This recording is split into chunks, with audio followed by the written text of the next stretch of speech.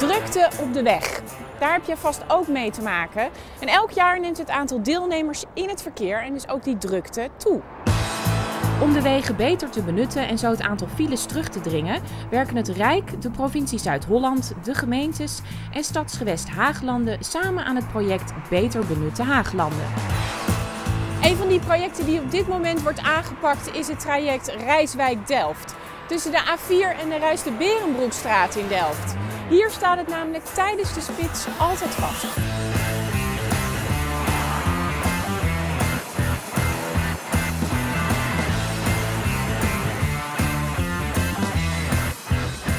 De verkeersdruk zal alleen maar toenemen, want ook voor de bewoners van de nieuwe wijk Rijswijk Buiten is dit een belangrijke verkeersader.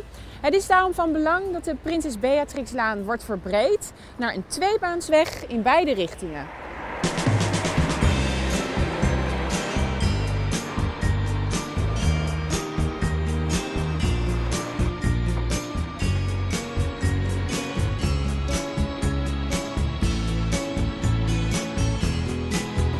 Eerste voorbereidende werkzaamheden zijn in volle gang.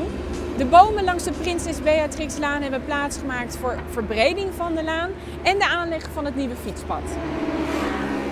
Als alles klaar is, zullen de nieuwe bomen weer terugkomen.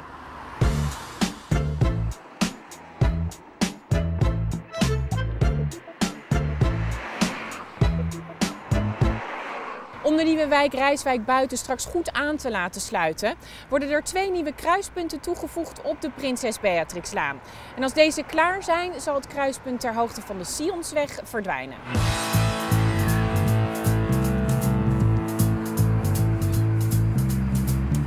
De verwachting is dat de werkzaamheden eind 2014 zijn afgerond.